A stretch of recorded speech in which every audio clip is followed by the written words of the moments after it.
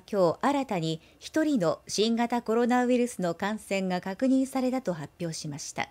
県内の感染者はこれで152人となりました。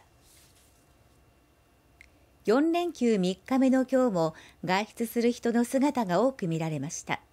草津市の琵琶湖博物館では入場に最大で4時間の待ち時間が発生しました。琵琶湖博物館では新型コロナ感染拡大防止のため館内を500人以下に保つように制限していて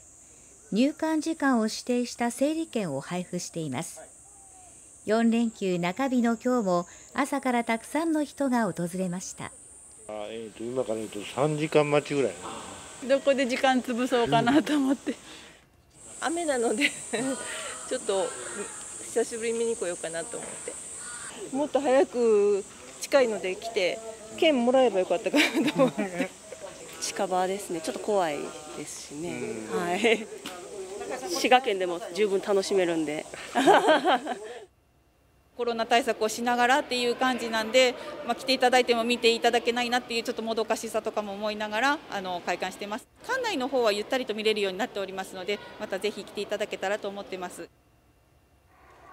琵琶湖博物館では今日入館整理券は昼前にはなくなり最大で4時間待ちになったということです。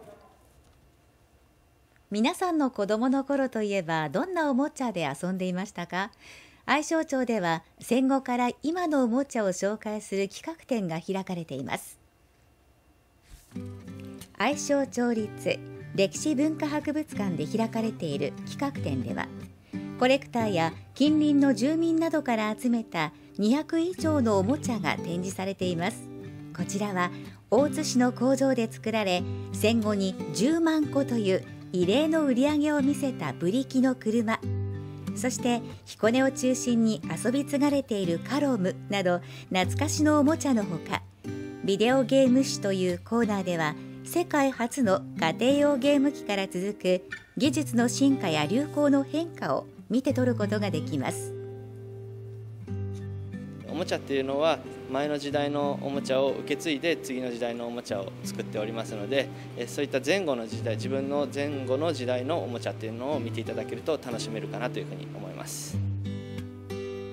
玩具伝説おもちゃの60年史は愛称町立歴史文化博物館で8月30日まで開かれています